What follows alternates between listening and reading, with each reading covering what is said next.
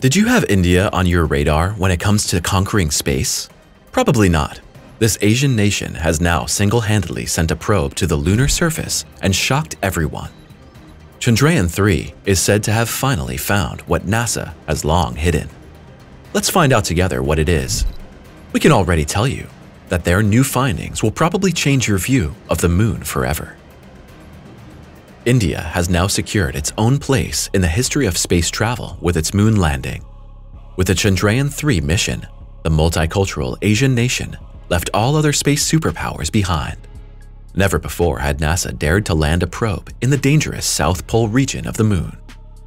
The scientific community of this Earth was thrilled and shocked at the same time to witness how safely and elegantly the Indians set down a lander and a rover in the southernmost reaches of the moon. On August 23, 2023, the two space probes touched down gently and safely on the lunar surface. The landing maneuver was considered an exceptional technical achievement. This makes India the fourth nation on this Earth to land a spacecraft on the moon, and India is the very first nation to explore the South Pole. The Russians botched their own South Pole landing just three days before Chandrayaan-3. Luna 25 was supposed to be as exceptional a project as the Indian Space Agency's mission, but the Russians lost contact with their probe before it could even begin the landing maneuver. Those responsible in Moscow had to watch helplessly as their probe, which cost around $150 million, thundered unchecked onto the moon and crashed there. The shock was deep. For Russia, the action was an important comeback on the international space scene. Only three days later, the disappointed Russian scientists and engineers had to watch as Chandrayaan-3 floated safely to the moon. The South Pole is a rough terrain, rugged, with razor-sharp boulders and few plains. Because of the location, radio communication is not possible directly. Signals take 1.5 seconds, which would have been too much to manually steer Chandrayaan-3 to the surface. The Indian Space Research Organization, ISRO, equipped its probes with a highly innovative automatic landing system. With cameras and built-in intelligent navigation, the probe could scan the terrain on approach, confidently interpret the conditions on the ground, and make all the corrections in flight course necessary to gently load in one plane. This was precision work and finally earned India all the international recognition and praise that the nation had so long desired. Pragyan and Vikram launched the mission. A few days after the landing, the Indians presented more photos and video footage that went around the world.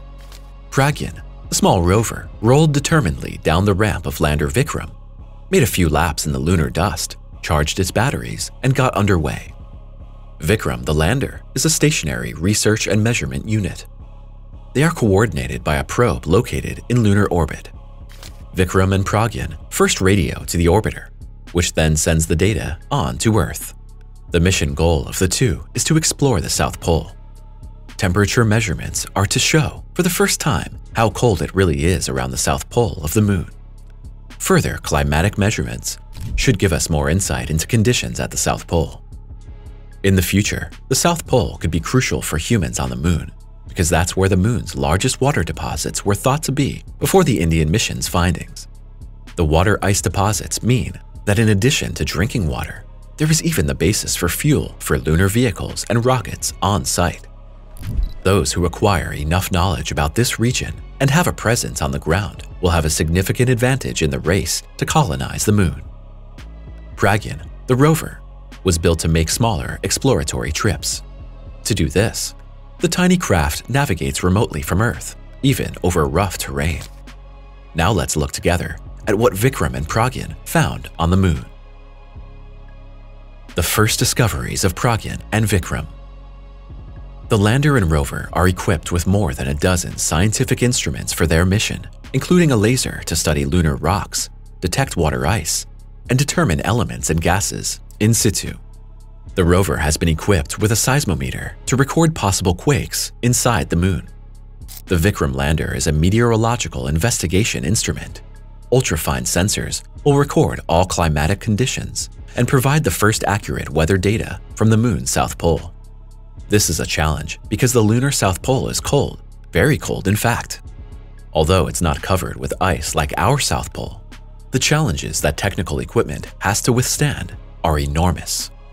Only 10 days remain for the rover Pragyan and the lander Vikram for a first run. Then, the icy cold moon night broke in, which lasts on the Earth satellite, after all, a whole 14 days. On the other hand, the two had around-the-clock time for their mission during the lunar day, which also lasts 14 days. Pragyan was able to charge his solar cell and set off with a unique wheel mechanism called the rocker bogie. This vehicle navigates the lunar soil more safely than any before it. Unlike conventional systems, this mechanism does not have all wheels moving at once, giving the rover flexibility to compensate for elevation changes and avoid craters. Vikram, the lander, landed on the moon with a temperature probe containing 10 sensors that could reach up to 10 centimeters below the surface. The first data collected below the surface showed a sharp difference in temperature between the areas just above the ground and below. We already know that temperature on the moon varies between extremes. Due to the lack of a balancing atmosphere, 120 degrees Celsius can be reached during the day when the sun is directly shining, while the thermometers at the same location drop to minus 130 degrees Celsius at night. Just imagine that's 250 degrees Celsius difference in temperature between day and night. In this context, the most striking thing about the moon is the duration of the heat radiation. Do you remember? We have already talked about the fact that the lunar night and the lunar day each last 14 days at a stretch. So, 14 days brewed regionally 120 degrees and then 14 days of darkness and sub-zero temperatures that permanently surpass our Earth's cold records. The coldest temperature ever recorded on the Earth's surface was on July 21, 1983, at the Soviet Vostok Station in Antarctica and was negative 89.2 degrees Celsius. Compared to lunar night, that's almost cozy warm, and we only have those conditions at the poles. Would you want to be a lunar settler under these conditions? Let us know in the comments after the video. Chandrayaan-3 proves NASA was wrong. Now let's get to the discovery that makes NASA look old. Until now, the measurements recorded by NASA's Lunar Reconnaissance Orbiter were considered standard in the world of science. But Vikram's measurements now show that they are wrong. The assumptions and measurements about large water ice deposits could also be wrong, at least as far as the South Pole is concerned. These are groundbreaking new findings that will drastically change plans for colonization of the moon in particular. Through the current lunar mission, we have found that temperatures on the moon although subject to extreme variations, are generally too high to keep water ice stable on the surface. In the vacuum of space, water must reach temperatures below negative 160 degrees Celsius to go directly from a solid to a gaseous state without passing through the liquid state. The data measured by Chandrayaan-3 showed temperatures warmer than negative 10 degrees Celsius even in the deepest layers studied. Therefore, stable water ice is unlikely to be present at the surface of the moon's south pole. However, water ice may exist below the surface. The massive temperature variation between below and above indicates that lunar dust serves as an excellent insulator. Lunar regolith could protect water ice below the surface from the boiling temperatures at the bottom. This also means that if we were to build space colonies on the moon, its soil could serve as a natural insulator keeping heat, cold, and radiation out of the habitat. This makes it more likely that NASA or SpaceX will plan future lunar homes as subterranean or semi-subterranean living units. Another significant Chandrayaan-3 discovery was the detection and measurement of sulfur on the lunar surface. Pragyan aimed his laser detectors at the lunar regolith and detected elements such as aluminum, calcium, iron, chromium, titanium, manganese, and oxygen. So far, so good. Researchers had already expected this.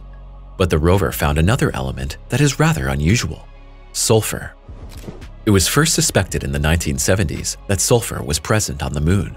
However, researchers assumed that the sulfur occurs bound in minerals. Now, Pragyan proved that sulfur is freely present on the lunar surface, and that is a remarkable advance. Sulfur on the moon could confirm some scientific theories about the moon's formation. Scientists have always believed that the lunar surface was originally covered with a thick layer of hot molten rock until the surface crystallized. Pragyan's find could be proof of that theory. Sulfur also fuels hopes of growing crops on the moon, as the element is a great fertilizer for plants. And that's not all. With this latest discovery, Chandrayaan-3 could change the world of science forever. Vikram's seismometer registered a tiny moonquake that lasted only about 4 seconds. The impact could have been caused by a tiny meteorite. What was really unusual about the recordings was a reverberation of the quake. Researchers have held very similar data before. Back in the 1970s, the moon reverberated so long and strangely after a recorded impact by a rocket part of the Apollo missions that researchers came up with the idea that the moon might be hollow inside. One of the final accomplishments of the mission was a measurement of the density and temperature of the lunar ionosphere. Vikram reported a relatively sparse mixture of ions and electrons in the roughly 100 kilometer thick layer of electrically charged plasma that envelops the moon. Initial measurements of the plasma showed between 5 million and 30 million electrons per cubic meter, which is relatively low compared to Earth's 1 million electrons per cubic centimeter.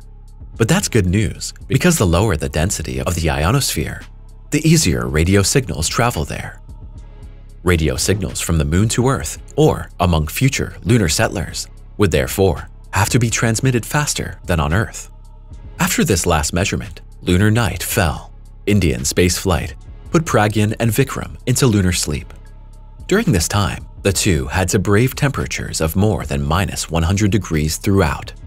With the dawn of the lunar day, the duo was supposed to turn on again automatically. So far, however, that hasn't happened, and at the time of this video's release, it unfortunately looks like India's probes froze to death after just one scientific run. Hit the subscribe button now because there are many more highlights to come.